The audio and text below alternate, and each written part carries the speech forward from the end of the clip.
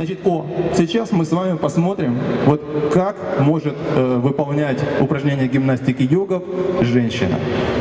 Для женщин занимается очень много, для женщин это очень полезно. Вот.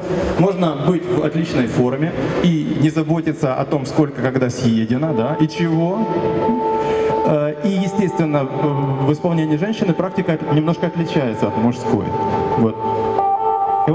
Таня Наземова, преподаватель тоже нашей студии, она вам покажет, как э, должен выглядеть преподаватель йоги женщины.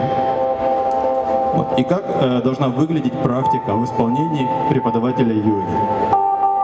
С тем, чтобы, приходя в какую-нибудь другую студию, центр э, или клуб, вы могли посмотреть на преподавателя и сделать для себя вывод. Этот человек э, реально что-то может, или он может только болтать языком. Упражнения очень простые, и на самом деле, позанимавшись 2-3 года, большинство людей могут вот, научиться это делать, даже если они начинают с того уровня, который вот нам ребята показывали, когда Вера проводила а, показательное занятие. Видите, в исполнении женщины все это выглядит очень э, красиво, мягко, текуче, так ненавязчиво.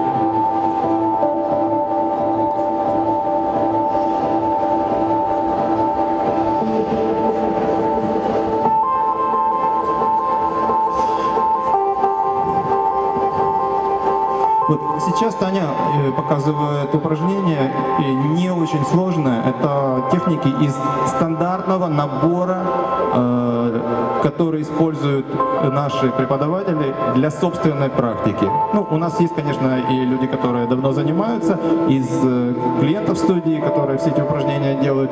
Но э, в данном случае речь идет о необходимом наборе минимальном упражнений, которые любой преподаватель, любой йога-тичер обязан уметь делать. Он обязан это уметь делать, э, потому что иначе какой он йога-тичер? Иначе он просто болтун.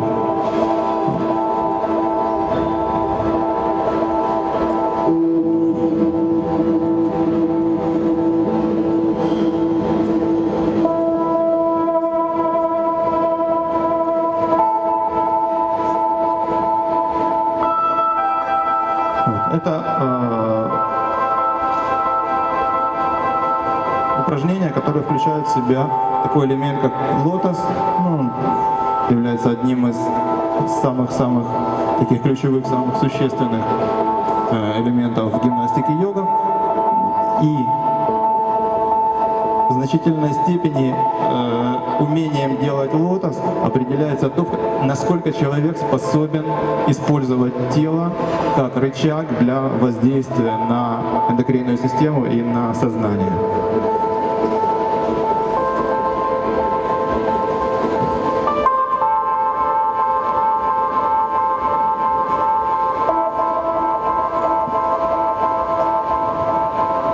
Это упражнение, которое компенсирует положение коленных суставов после выполнения лотоса.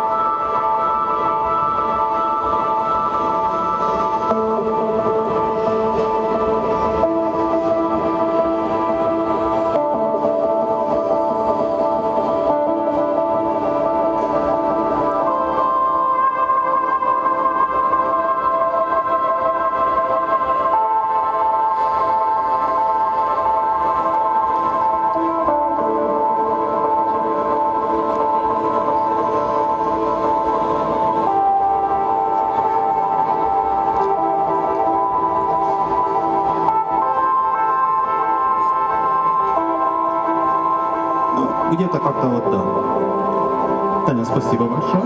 А, еще не все, еще не все.